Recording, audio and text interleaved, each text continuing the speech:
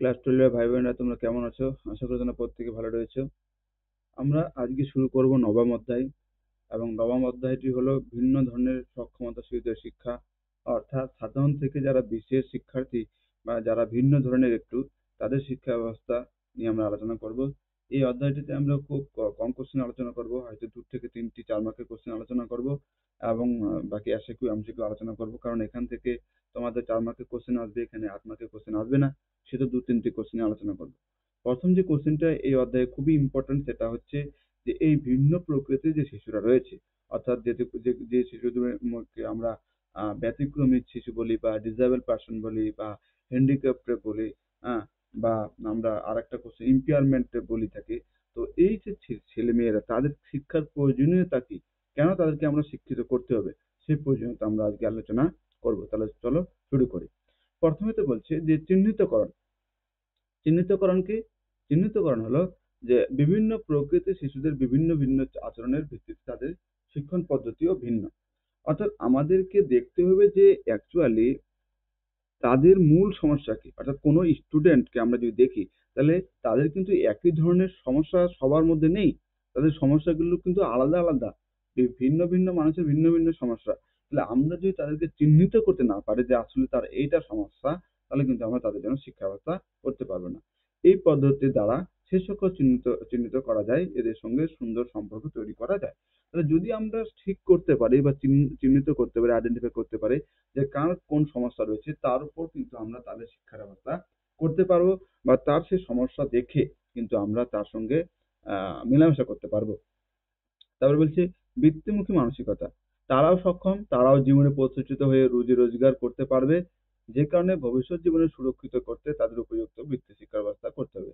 অর্থাৎ যারা physically challenge যারা যে বাচ্চারা রয়েছে, তাদেরও কিন্তু শিক্ষা ব্যবস্থার আওতায় নিয়ে আসতে হবে এবং তাদেরকেও কিন্তু জীবনে প্রতিষ্ঠিত হয়ে তোলার জন্য বৃত্তিমুখী করে তুলতে হবে।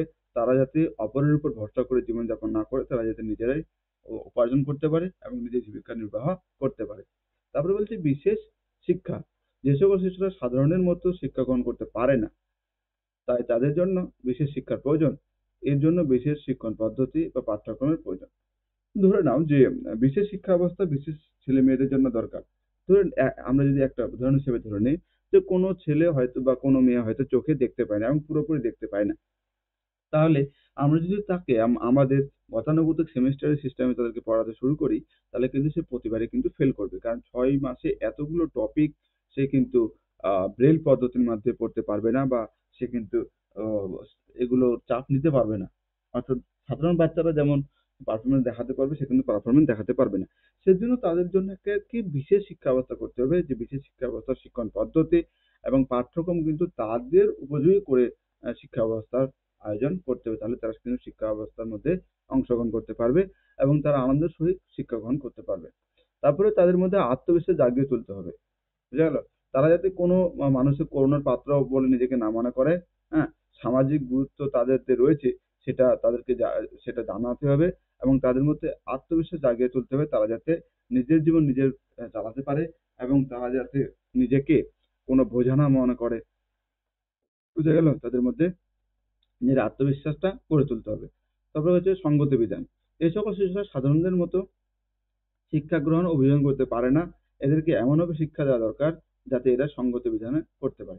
অর্থাৎ এদেরকে কিন্তু প্রত্যেকটা পরিস্থিতিতে অভিযোজন করতে হয় বা অ্যাডজাস্টমেন্ট করতে হয়। তাহলে এরা যাতে সঠিকভাবে বা সুন্দরভাবে এবং আনন্দের সহিত এক- একটি সমাজে থাকাকালীন যে অ্যাডজাস্টমেন্ট করতে পারে, সেই মানসিকতা কিন্তু তাদের মধ্যে গড়ে তুলতে হবে। তারপরে হচ্ছে যে প্রাথমিক শিক্ষা ওদের স্বাভাবিক শিশুদের নেই, এদের অন্তত গণিত, ভাষা, বিজ্ঞান সমাজবিজ্ঞান এই বিষয়গুলো তাদের শিক্ষা দেওয়া প্রয়োজন। চাহিদা পূরণ ভিন্ন ধর্মের শিশুদের চাহিদা ও অক্ষমতা অনুযায়ী তা পূরণ করবে শিক্ষার প্রয়োজন। অর্থাৎ তাদের যে চাহিদা এবং তাদের যে অক্ষমতা, এই দুইয়ের অনুযায়ী কিন্তু শিক্ষার প্রয়োজন আমরা লক্ষ্য করব।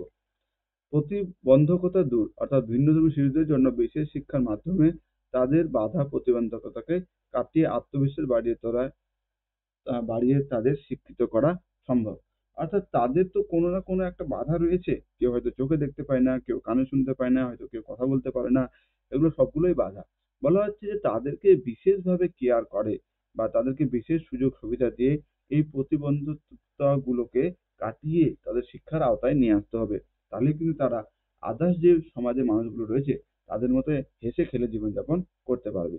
তাহলে এই এই কারণগুলোর জন্যই কিন্তু তাদেরকে শিক্ষা দেওয়া প্রয়োজন। তাহলে এগুলো তোমরা দু, তিনবার পড়লেই বা পয়েন্টগুলো মনে রাখলে তোমরা লিখতে পারবে। ঠিক আছে? তাহলে অবশ্যই তোমরা এই কোশ্চেনটা দেখবে। এবং পরের বিষয় নিয়ে আমি আগামীকাল আবার একটা নতুন ভিডিও নিয়ে আসব। ঠিক আছে? তাহলে এই পর্যন্ত এখান থেকে থাকুক। সবাই ভালো থেকো, সুস্থ থেকো। ভিডিওটি পুরো দেখার জন্য সবাইকে ধন্যবাদ।